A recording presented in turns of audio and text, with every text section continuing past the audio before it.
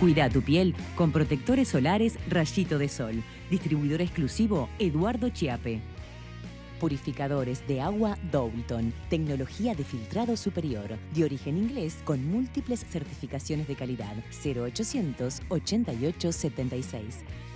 Presenta Óptica Brioso. Servicio diferencial en soluciones ópticas. San José 1232. Teléfono 2902 5051. Amigos, esta tarde les presentamos la nueva imagen de Salus. Está inspirada en las sierras de Minas. Salus, orgullo de la naturaleza.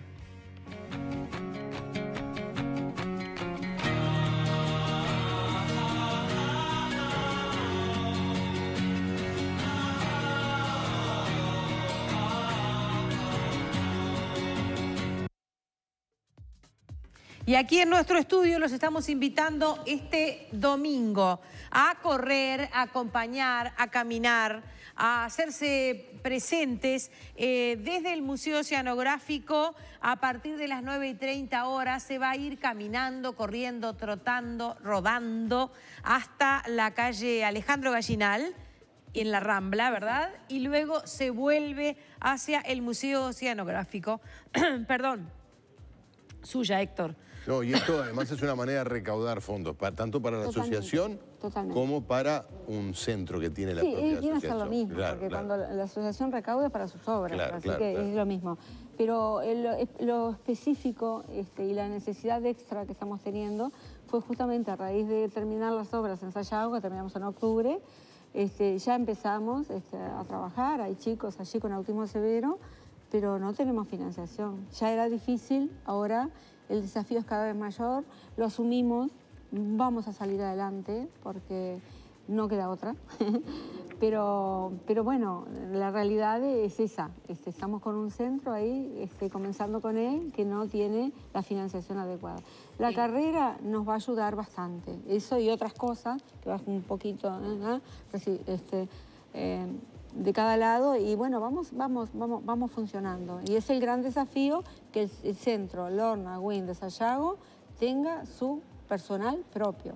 Claro, porque ustedes tienen un centro en la Ciudad Vieja y acaban de abrir esta segunda sede en el barrio de Sayago eh, que complementa o que obviamente trabaja descentralizadamente, pero que tiene que tener su propio personal. Totalmente, totalmente. ¿Cuántas personas trabajando ahí? estamos, en este momento estamos eh, con varios auxiliares y un educador.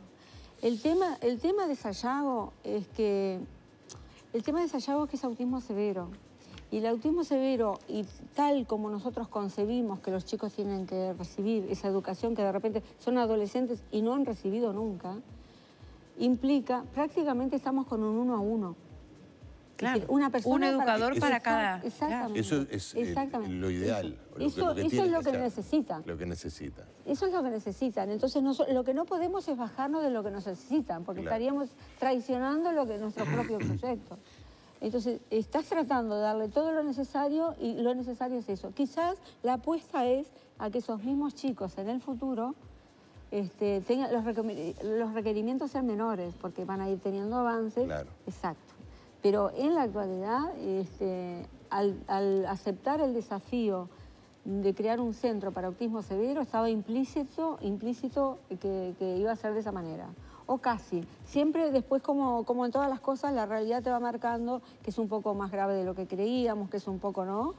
Este, pero está dentro de lo que nosotros esperábamos. Le agradecemos mucho su presencia este domingo entonces, a partir de las 9 y 30, Rambla de Montevideo, desde el Museo Oceanográfico y de Pesca hasta eh, la calle Alejandro Gallinal, mirándolos atentamente y transmitiendo en vivo. Ayer conocí personalmente en Plaza Cagancha a Raquel Navarro. Ella es un pilar fundamental de nuestra sociedad, es una excelente activista y comunicadora, sencilla, accesible y clara. Es nuestra invitada. Gracias por estar siempre. Soy Rosana, la mamá de Matthew. ¿Cómo se llama su hijo o tu hijo? Gracias, gracias Rosana. Este, Fer, perfecto.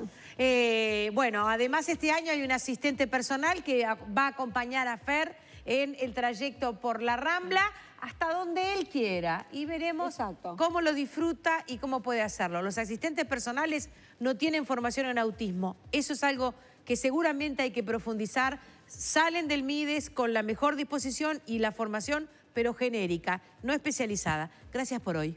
Muchas gracias. Hasta la vuelta. Muchas gracias. Nos vamos, Nos vamos mañana ya. ¿Sabe qué día es hoy? Es viernes, te iba a decir, te iba a decir porque mañana es viernes, ¿eh? ¿Sí? Ahora nos deja, afuera del micrófono. Ahora la despedimos y juernes para todo el mundo. Chao, hasta mañana. hasta mañana.